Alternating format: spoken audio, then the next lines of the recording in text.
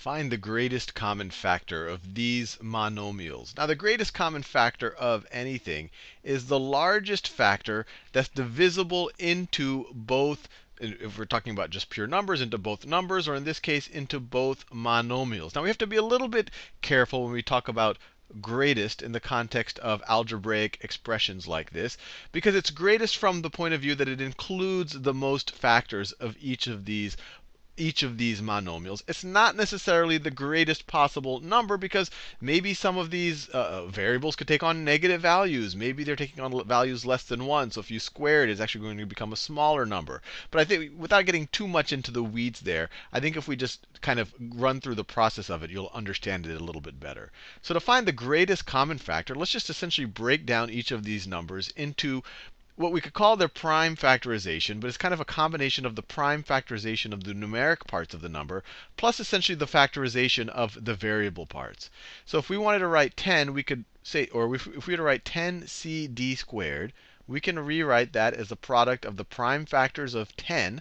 The prime factorization of 10 is just 2 times 5. Those are both prime numbers. So 10 can be broken down as 2 times 5. c can only be broken down by c. We don't know anything else that c can be broken into. So c, so 2 times 5 times c. But then the d squared can be rewritten as d times d. d times d. This is what I mean by writing this monomial essentially as, as the product of its constituents. For the numeric part of it, it's the constituents are the prime factors. And for the rest of it, is we're just kind of expanding out the exponents. Now let's do that for 25c to the third d squared. So 25 right here, that's 5 times 5. So this is equal to 5 times 5. And then c to the third, that's times c times c times c. And then d squared times d squared. d squared is times d times d. So what's their greatest common factor in this context? Well, they both have at least one 5. They both have at least one 5. Then they both have at least one c over here. So let's just take up one of the c's right over there. And then they both have two d's they both have two d's.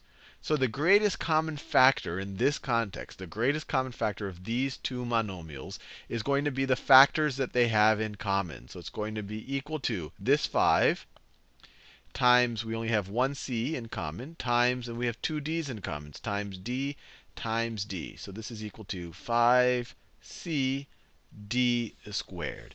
And so 5d squared, we can kind of view it as the greatest, but I'll put that in quotes where, you know, depending on whether c is negative or positive and d is uh, greater than or less than 0. But this is the greatest common factor of these two monomials. It's divisible into both of them, and it uses the most factors possible.